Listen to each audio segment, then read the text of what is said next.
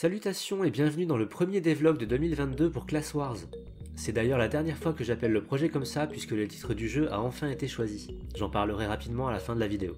J'espère que vous allez bien et que cette nouvelle année vous réservera plein de bonnes choses. Pour moi, elle commence plutôt bien puisque j'ai pu reprendre le boulot, que ce soit à mon vrai travail ou à celui sur le jeu. Bon, là, je dois me faire opérer du dos quelques jours après avoir posté cette vidéo et être à nouveau en arrêt pendant un mois, mais c'est justement pour finaliser ma remise en service, tout ira vraiment mieux après ça. Au menu de ce neuvième épisode, musique, marchand et petits ajouts. C'est parti Quand on est développeur indé, on se fait souvent aborder par diverses personnes proposant leurs services.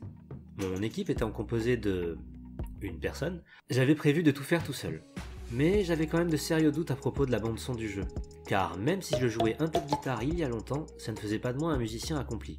Au cours de l'année passée, j'ai donc été approché par plusieurs compositeurs. Au fil du temps, des échanges et de mes coups de cœur pour leur création, j'en ai finalement choisi un. Il s'agit de Kunin, un habitué des productions de jeux indés, et les deux musiques que vous entendrez après cette section sont celles qu'il a déjà composées pour le jeu. Pour les intéressés, je mettrai les différents liens pour ces pages dans la description de la vidéo et je créerai une playlist sur ma chaîne plus tard dans l'année pour une meilleure écoute. On enchaîne avec l'arrivée dans le village du marchand d'objets. Il est possible de lui acheter divers produits plus ou moins rares en fonction de la progression de l'aventure, et le magasin dispose d'un programme de fidélité. Le joueur gagne des points à chaque achat effectué dans la boutique, ce qui remplit progressivement une jauge. Pour chaque niveau de fidélité gagné, de nouveaux objets sont ajoutés et une réduction permanente s'appliquera pour les futurs achats. Ce bonus est aussi valable lors de la vente d'objets.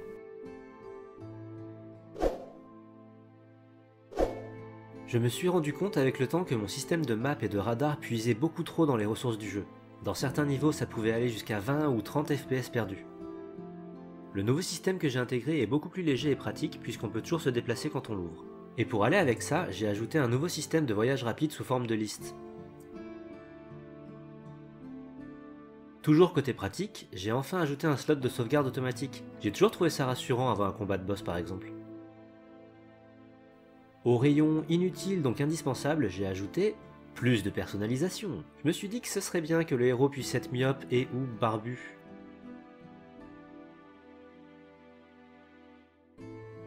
Je teste aussi l'implantation des succès, mais il faut encore que je travaille sur une vraie page pour les afficher.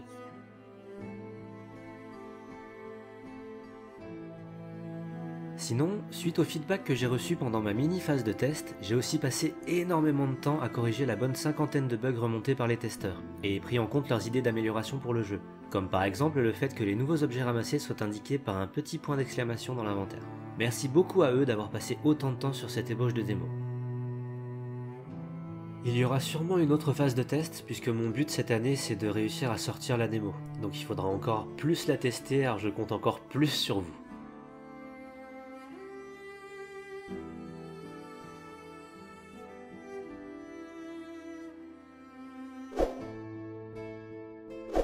Et en parlant de la démo, j'ai essayé de penser à d'autres objectifs pour 2022.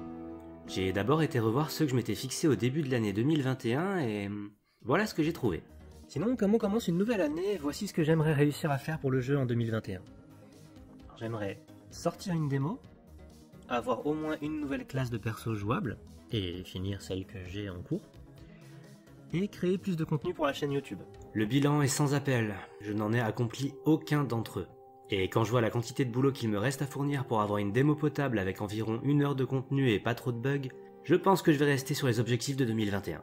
Le but principal étant de sortir une démo jouable, il va falloir que je découpe ça en plusieurs étapes. La première, créer une page pour le jeu, sur Steam par exemple. Et de ce que j'ai pu en avoir comme écho, c'est pas forcément évident à faire. Et pour remplir cette page, il va falloir que je crée du contenu, comme des images, une miniature, un résumé et tout un tas d'autres trucs, mais surtout une bande-annonce, la deuxième, si j'ai réussi à accomplir la première, c'est de créer la deuxième classe jouable, l'ouvrier. Niveau travail, là aussi il y en a pas mal. Ça va de la finalisation des modèles pour le personnage à la création de ses compétences, en passant par la case animation et j'en passe. Je ne vais pas m'étendre trop sur le sujet car malgré ma motivation qui ne flanche pas d'un millimètre, je ne pense pas réussir à accomplir cet objectif en 2022.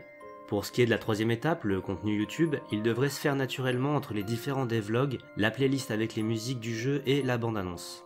Mais bon, avant tout ça, il y avait une toute première chose à faire. Comme je le disais au début de la vidéo, le projet a enfin un nom.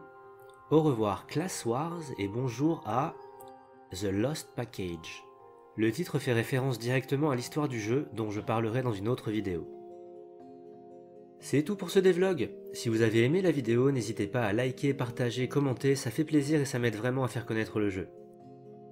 Et si c'est pas encore fait, abonnez-vous à la chaîne. On se retrouve dans quelques mois pour le dixième épisode qui devrait être consacré principalement à une nouvelle map. A bientôt